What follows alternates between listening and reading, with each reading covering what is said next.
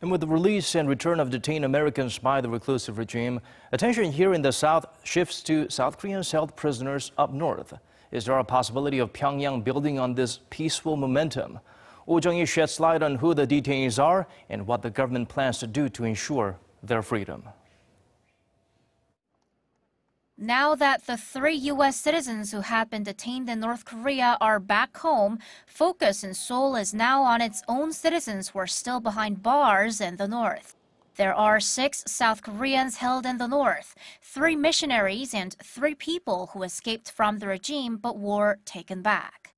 Arirang News had an opportunity to meet with Kim Jung-sam, the elder brother of Kim Jung-wook, one of the three missionaries. Kim Jung-wook provided food and accommodation for North Korean citizens and taught Christian principles in Dandong, a city on China's border with North Korea. But he was caught by the regime in 2013 for what the North called anti-state crimes. Kim's family in South Korea found out through media reports that Kim was detained, but since then, they haven't heard anything about him. There's been no response from North Korea, even when the South Korean government has raised the issue, or when I sent a letter to the International Committee of the Red Cross. I don't know if he's alive or dead. He hopes that a string of inter Korean talks following the summit last month could lead to a change in his brother's situation.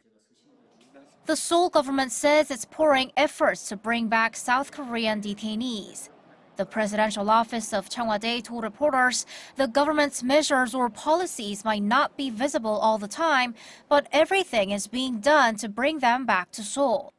While the first round of inter-Korean high-level talks after the summit are expected to be held next week, Seoul's Unification Ministry says it'll continue to work on humanitarian issues through coming opportunities.